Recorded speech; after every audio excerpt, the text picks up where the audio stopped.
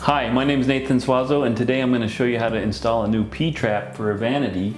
In this particular case, this P-trap doesn't reach the new pop-up assembly, so we're going to cut this out and put in a new P-trap. Okay, these are the materials and tools that we'll need to replace the old P-trap. The first thing you need is the abrasive open mesh, or you can use sandpaper. Next, you'll need a coupling. So in our case, we're doing one and a half inch P-trap replacement. And this coupling goes to the old pipe that's sticking out of the wall, and then we'll connect it to our new ABS. You'll need some ABS, this is two feet, 24 inches. And then we have ABS glue to glue everything together. And these are reducers, one and a quarter to one, one and a half inch. And these are used to connect to the pop-up assembly. A rag, I highly recommend a rag so you don't get the ABS cement all over the bottom of the vanity cabinet. The next thing, you'll need a tape measure. Maybe we'll use these channel locks, we'll see. And then the most important tool is this pipe cutter, one and a half inch pipe cutter. This thing is amazing. You're gonna love it. And then a P-trap. So as you can see here, the old P-trap doesn't quite reach the new pop-up assembly. So we're just gonna pull this old P-trap out and put a new one in that does reach. Okay, first things first, we gotta cut out the old P-trap. So we're gonna take our one and a half inch ABS pipe cutter and as you can see, we got a problem here. So we're gonna have to cut the ABS pipe cutter handle here so we can make the full 360 degree turn here. So just by chance, I happen to have it already cut. And now we're gonna wanna bring it out maybe a half inch so we can have something to glue to. And you're just gonna push this on. I'm gonna have to get inside the cabinet and push it onto the pipe and then just start turning it slowly do your 360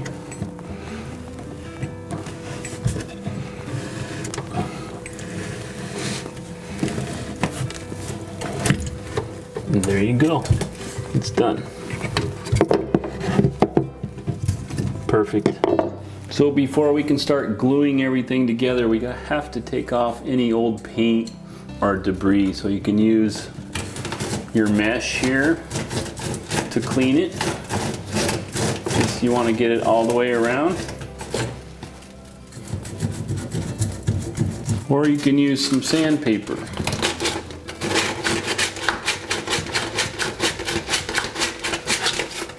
Just get it nice and clean like it's new again. Then we can attach the coupling. So the first thing is we're gonna dry fit the P-trap in. We're gonna take our P-trap and try to line it up with this tailpipe that's popping out. And then we're gonna do this vertical pipe here. So just get your tape measure. It's just gonna be rough. You wanna go a little bit extra. So if you can get it on the first time, great. So it looks like uh, we'll go eight inches on this. So now we're gonna cut our ABS eight inches. So now we're gonna cut our pipe eight inches. Now remember, we're just roughing it in. Take your marker and just mark it there. And I know it's black on black, but you should be able to see it right there. Then take your pipe cutter and you can use these lines here where they molded it together as part of your guide. So just lining these lines up with my mark. Just slide it on there. Pew. And then do your twist. And there's our pipe. If we need to cut it again, we will. Then put on your reducer. Grab your P-trap Then we're gonna set this in to the pop-up assembly and then we'll get the measurement to the back of the wall. So now we cut this vertical pipe to go up on the pop-up assembly and you can just tighten this up here and it will just stay, it won't go anywhere. So now we're gonna measure from the coupling inside there's these grooves here, right when it stops, hear it? From there to this, to this edge here. So that's gonna be about four and a half. Now if it's too long, we can always cut it short. So now we're gonna cut this pipe four and a half inches. And if we cut it too long, we can always cut it again. So make your mark. Take your pipe cutter. Remember there's a line right here. We'll just line it up with our line we just made. Push it onto the pipe cutter. Twist. And we're done. So don't forget to take off this sticker.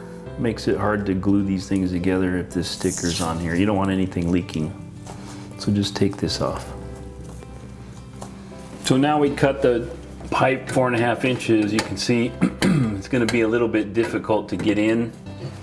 So what we're gonna do is we're just gonna disconnect the P-trap. Just move this out of the way. Connect our new four and a half inch pipe. Push it on.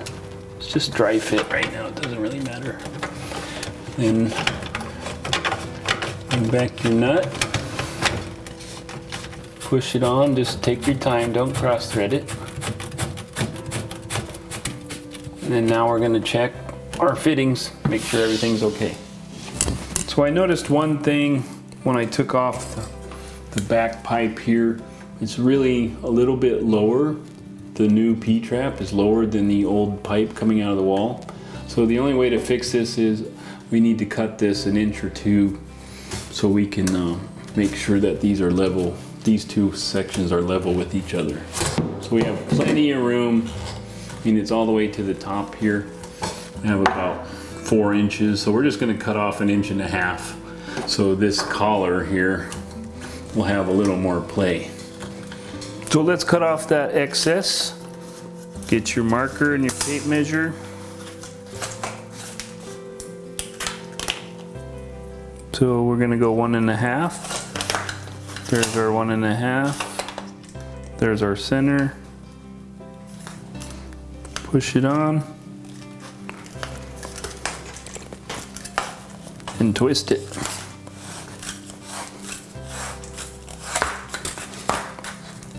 And now we'll check our fit now. So now we're gonna check to see if we line up with the, the old tailpipe coming out of the wall here. And there, perfect now. We have what we need. And now we're gonna start gluing it together. So now the fun part, now we're gonna glue everything together. We're gonna do it in two different sections. We're gonna do the tailpipe. So disconnect the P-trap here. And then we're just gonna disconnect this part here. And don't glue this part yet. We're gonna glue that last at the end of gluing all this. So we're gonna glue in here, and then we're gonna glue in here and around here, and the same thing on this pipe. So now, here's the fun part. This is what you need the channel locks for, because normally they have this thing so tight you can't loosen it with your hand, so just use your channel locks. And don't panic, just take your time, be thorough, and here we go. So what you're gonna do is you see in here, we're just gonna take this little ball in here and we're just gonna run it all the way around like that. Then set that down and we're gonna do the other side too. Take your time. Okay, so now we're gonna join these two together, weld them together. And this is one thing I like to do to make it look nice and clean. This way we don't look like an amateur. Then the next one, same thing. We're gonna just go right in here, right up to this line here.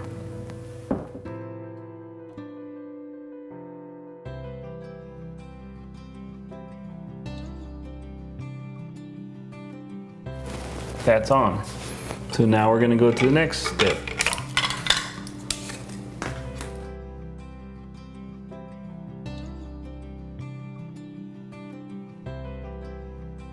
It's a good idea too not to get it all over your vanity cabinet, so you want to use some cardboard or a rag.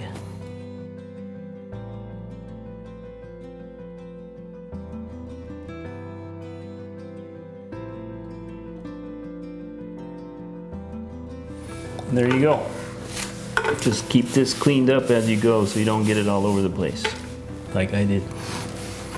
Okay, so now we're gonna put the front half of the P-trap on. And that way we can line up the back half exactly with the, the nut here. So just tighten this up and then move it out of the way so we can glue this piece on. So now we're gonna glue on the back piece and it's the same thing just try to make it so it's not going to drip all over the place. It, it, it will drip, but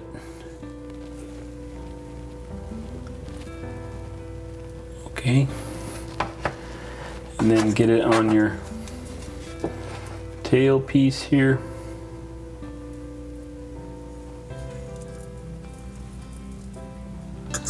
And then we're going to push it on.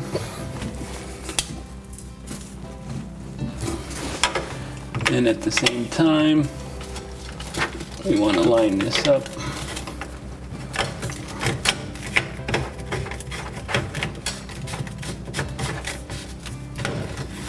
There it goes.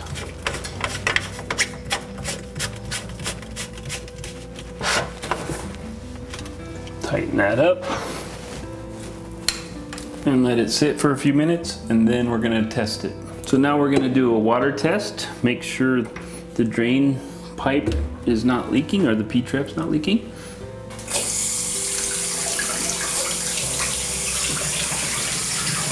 So what you can do is you can use your hand just to double check.